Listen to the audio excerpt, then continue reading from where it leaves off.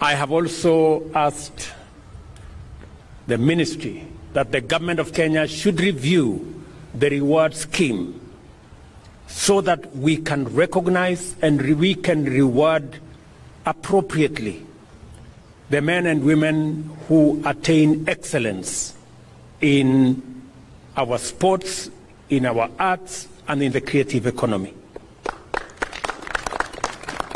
And going forward, we have decided as the government of Kenya that any Kenyan who participates in a world event and breaks a world record, unlike in the past when there was no recognition, going forward, for every world record broken by a Kenyan, the government of Kenya is going to award 5 million shillings.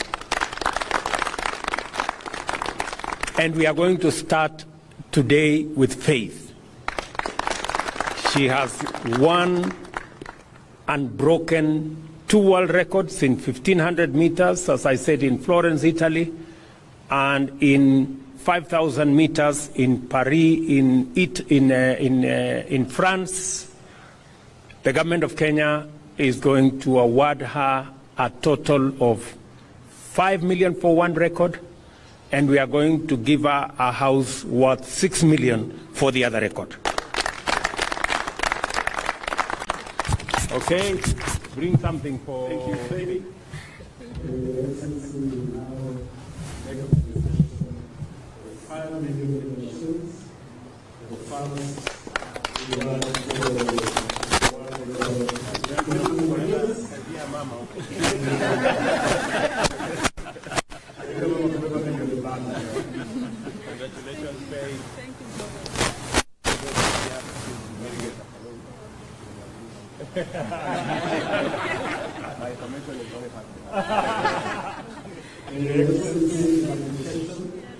The second one